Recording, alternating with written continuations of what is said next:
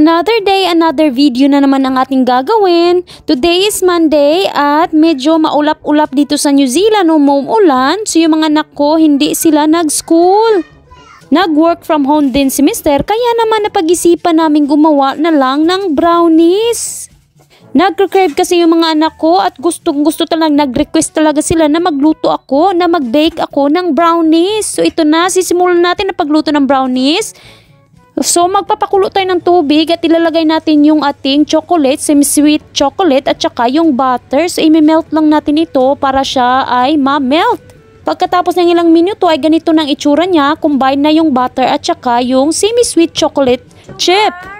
Pagkatapos kong ma-melt yung chocolate tsaka yung butter, ay imimix na natin yung dry ingredients. Maglalagay tayo ng brown sugar tsaka white sugar sa isang bowl. Tatlong itlog, biniyak of course ni Mister. Ayan, sumali na sila sa akin. Kasi nga walang magawa sa buhay. Pagkatapos mabiyak ang itlog, ay hahalo lang natin ito together nang mag-incorporate yung mixture. Pagkatapos ay hihalo na natin yung minelt natin na chocolate at saka butter kanina. So ayan, ilalagay lang natin ito sa wet mixture, yung sugar, itlog at saka, ayun nga, sugar at saka itlog. Ngayon na naman ay sisift natin yung flour, salt at saka yung cocoa powder. So yung recipe nga pala ay nakuha ko sa YouTube. So ihalo lang natin ito ng maigi. Napakasimple lang pala gumawa ng brownie, no? Manood ka lang ng YouTube at magiging brownie expert ka na. So yung mga anak ko pala, nasarapan sila sa ating brownie dough at ayan, gusto nilang kainin kahit hilaw pa. So ilalagay na pala natin ito sa cake tin yung ating brownie mixture. So kailangan natin itong i-form ng square-square. Georgia! What are you doing, love? So, yan na ilalagay natin ito sa oven at 180 degrees, 30 minutes lang, no? Pagkatapos ng 30 minutes, ayan, lutong-luto na ang ating chocolate fudge brownie. Mm. Wow, look at that. Ooh. Ooh. No, I don't want the can. Yep. Yeah. Babe, mommy will get you some. Ah, it's so. Let me get in here in the side because it's so chewy and look at that. Mmm. Dad, here's yours, Dad. Don't sneeze on. Okay. Come here at the back, Dad. You can see it. It's a fudgy brownie. Ow. I can't hear. Very hot. Come here at the back. So let's taste it, guys. The brownie. It yummy? Oh, yeah. No, Mm. brownies. Still It's very hot. Mmm.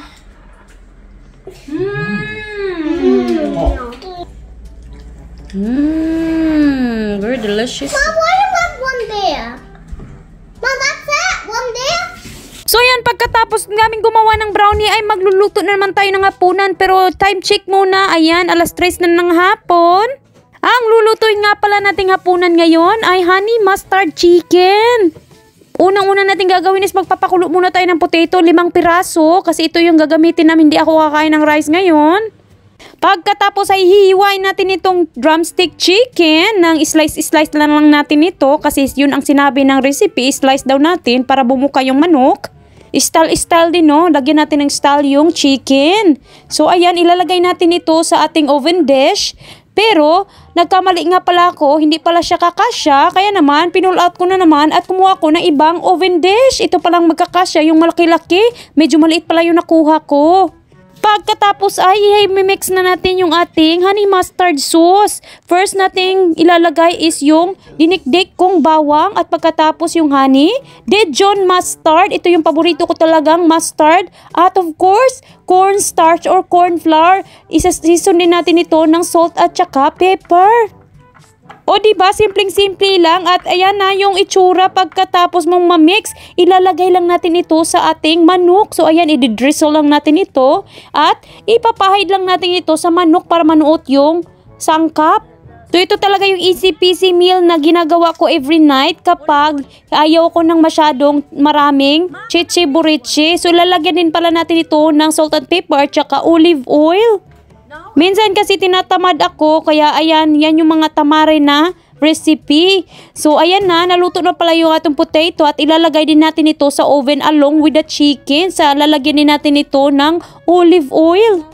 Pagkatapos ay ilalagay natin ito sa oven 180 degrees at hahayaan natin itong maluto. Pagkatapos ng ilang minuto, 30 minutes ata, ay kinuha ko siya para i-flip ko yung manok para naman maluto yung other side, no? At after ng isang oras ay ayan, lutong-luto ng ating honey mustard chicken with baked potato. So magpa-plating muna tayo sa plato ng mga anak ko at of course lalagyan natin ng butter yung ating potato. Masarap yan pag may butter at saka asin. So tayong mga nanay talaga all around tayo. Chef sa bahay at saka labandera at all around talaga yung mga ginagawa natin sa buhay. So ayan si Mister sumasayaw pa at naglalagay din ng vegetable. Meron tayong broccoli nga pala. So of course hindi yan makukomplete yung ating meal pag walang vegetable. Dinner, Mami made some honey mustard chicken. So, ayan siya. Baked at with put baked potato and broccoli. So, let's eat now. Do you like it, my dear? Mm, yummy. Yummy. Delicious honey mustard. So, let's try it. I'm only eating the mashed potato, not Mm. eating those. Try the potato. Mm.